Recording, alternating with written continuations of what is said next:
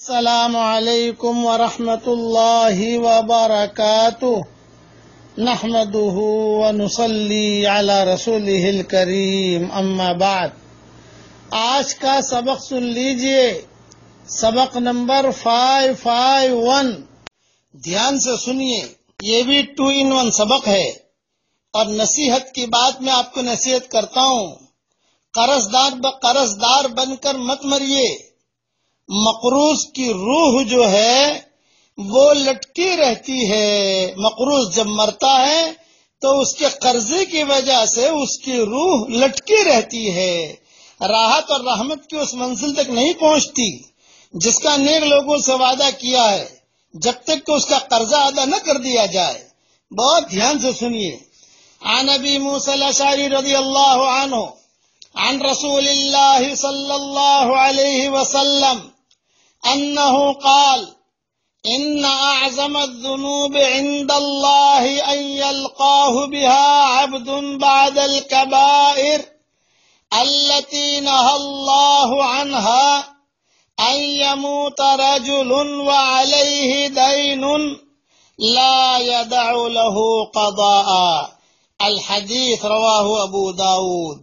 عن أبي هريرة رضي الله عنه عن النبي صلى الله عليه وسلم قال، نفس المؤمن معلقة بدينه حتى يقضى عنه. الحديث رواه الترمذي. دونوں حدیثوں کا ترجمہ دھیان سے سنو اور قرضہ کسی سے نہ لو، لینا ہے فوراً چکا دو۔ حضرت ابو موسا شاری رضی اللہ تعالی عنہ رسول اللہ صلی اللہ علیہ وسلم کا ارشاد نقل کرتے ہیں کہ ان کبیرہ گناہوں، شرک، زنا وغیرہ کے بعد جن سے اللہ تعالی نے سختی سے منع فرمایا ہے، سب سے بڑا گنا یہ ہے کہ آدمی اس حال میں مرے کہ اس پر قرض ہو اور اس نے ادائیگی کا انتظام نہ کیا ہو۔ یہ حدیث ابو داود میں ہے۔ ابو حریرا کی حدیث میں حضور صلی اللہ علیہ وسلم نے ارشاد فرمایا، مومن کی روح اس کے قرضے کی وجہ سے لٹکی رہتی ہے۔ راحت اور رحمت کی اس منزل تک نہیں پہنچتی، جس کا نیک لوگوں سے وعدہ کیا ہے۔ جب تک کہ اس کا قرضہ نہ ادا کر دیا جائے۔ یہ حدیث ترمیزی میں ہے۔ حضرت عبداللہ ابن عمر ابن عاص رضی اللہ تعالی عنما سے روایت ہے کہ رسول اللہ صلی اللہ علیہ وسلم نے ارشاد فرمایا، دھیان سے سننا میرے بھائیوں، میری ماؤں بہنوں، قرض کے علاوہ شہید کے سارے گناہ معاف کر دیے جائیں گے۔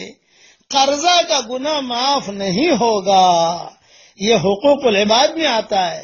یہ حدیث مسلم شریف میں ہے۔ اس لیے بہت ہی زیادہ اہتمام کیجیے اس کا۔ ہاں اگر کسی سے قرض لینے کی عادت یعنی ضرورت پڑ گئی، تو کوئی بات نہیں، لے، آدمی اس کا انتظام بھی کرے۔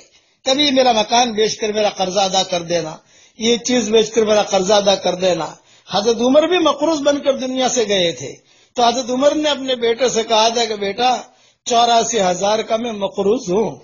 میرے پاس ابھی دینے کو نہیں ہے، لیکن فلا فلا فلا فلا چیزیں میری ہے اسے بیچ کر تم جلدی سے قرضہ ادا کر دینا۔ بیٹے نے کہا، ٹھیک ہے۔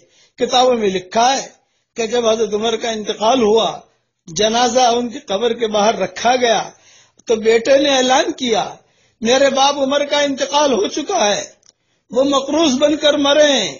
فلاں کے اتنے ہزار ہیں، فلاں کے اتنے ہزار ہیں، فلاں کے اتنے ہزار ہیں، فلاں کے اتنے ہزار ہیں۔ بڑی مہربانی ہوگی، تم میرے والد کو معاف کر دو۔ اس قرضے کا ذمہ میں میرے ذمے لے لیتا ہوں۔ میں قرض ادا کروں گا۔ جب عبداللہ بن عمر نے یہ اعلان کیا ہے، تو پوری مسجد نبی سے ہچکیاں مارنے کی آواز آئی۔ پورے مسجد نبی سے ہچکیاں مارنے کی آواز آئی بچے بھی روئے، مرد بھی روئے، عورتیں بھی روئی اور سب نے ایک زبان میں کہا، اے عبداللہ ابن عمر، ہم نے تیرے باپ کو بھی معاف کر دیا، اور ہم نے تجھے بھی معاف کر دیا۔ اور اگر ایک دینار یا ایک درہم بھی ہم اس میں سے لیں گے، تو کل حضور صلی اللہ علیہ وسلم کو منہ دکھانے کے قابل نہیں رہیں گے۔ تو قرضہ تو آدمی لیتا ہے، لیکن کوئی انتظام ہی نہ کرے۔ یہ چیز ہے۔ اس لیے اس کا بہت خیال رکھنا کہ اگر کسی کا انتقال ہو جائے، گھر میں پتہ ہے کہ قرضہ ہے، آدمی جا کر درخواست کر لے، میرے باپ کا انتقال ہو چکا ہے، میری ماں کا انتقال ہو چکا ہے، تم سے لاکھ روپے لیا تھا، آپ معاف کر دو ان کو تاکہ ان کی روح لٹکی نہ رہے۔ میں دینے کے لیے تیار ہوں، ساری ذمہ داری مجھ پر ہے۔ میں آپ کو ایک مہینے میں، ایک سال میں انشاءاللہ چکا دوں گا۔ یعنی اس قسم کی چیزوں کا آدمی اہتمام کرے۔ آج تو آدمی اہتمام ہی نہیں کرتا اور مرمرا کے چل دیتا ہے۔